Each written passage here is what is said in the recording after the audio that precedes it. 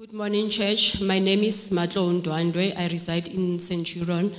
Um, my testimony goes like this. A few years ago, I registered for master in computing.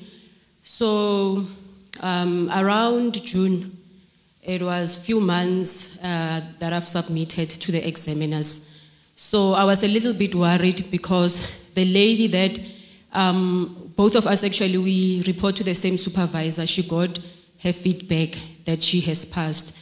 So knowing the challenges in my life, so I'm like, "Mm, I know maybe it's a battle for me. So this other time when we had the all-night prayer, and prophet said um, he wants to prophesy for people, then I quickly wrote down on a paper, research paper. Then um, he located me. Then he said to me, um, I see three people. They are busy with your your paper, and I knew that um, he's actually telling the truth because it's been submitted to the examiners. So he said to me, okay, um, please come on Sunday, pass through the Mercy Land, because it's three people, maybe, I don't know, you can pay three rand, 30 rand, 300 rand, or whatever, but it's, uh, as long as it's for three. So I did that, and then um, the following week, I think it was on Wednesday, I got a call from my supervisor. He was congratulating me, telling me that I've passed my master. Then he will send me the feedback from the um, from the examiners. Usually, what is happening is that um, you pass they, they, they, they, you pass your exam. Then after they just give you their comments, you just have to work on that. And my journal also, which I submitted, I think it was last year in December. It's also published by an international company. So my supervisor was very excited because I was taking it very lightly. Then he told me that no, it's actually a big thing in the academia because I'm in, a, in another sector, not in the academic sector. So I'm here to glorify God and for what He has done in my life. Amen.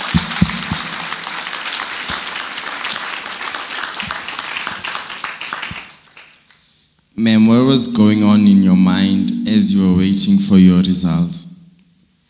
Ah, okay. I think another thing maybe uh, that challenges most of us is our past experiences. Uh, previously, I had, before I came to Shekinah in 2013, I had a problem. I registered at one of the leadership uh, institution.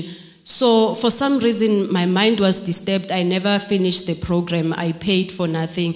So I was a little bit, and even throughout my journey for this master, there have been challenges. Sometimes I will send out my staff, they have not received them. And I remember even this other time at work, when I was, when I was just about to submit my work, all of a sudden the network at work went down.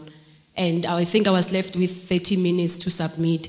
So fortunately, I was helped by one of my colleagues. Um, he had his uh, wireless device. So it's been a lot of challenges. So I was like, let me just bring it to God, uh, to the man of God, so that he can tell me what is actually happening. I was not okay because we've been, I communicate with uh, this um, colleague of mine. I'll say she's a colleague because both of us, we are reporting to the same supervisor. She got hers and I didn't got mine.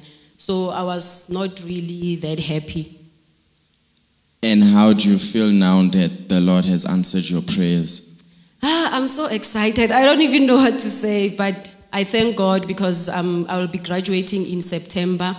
And the most nice thing is that um, out of all the people that I, I registered with, I was one of the people that my, uh, my journal is there. So anyone who's doing their research about um, smart learning technologies, they can actually cite my, my journal.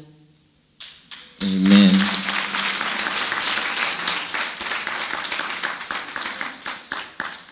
Ma'am, can you please leave us with a word of advice?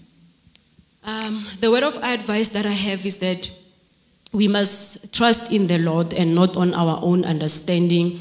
And um, one thing that I learned since I've been in this church is that uh, we must always trust God and do whatever that we are instructed by uh, prophet. And we must never cease praying, whether prophet is not in, in the church or not. We must always pray because everything comes from God. So that is my word of advice, and also hold on to God. Amen.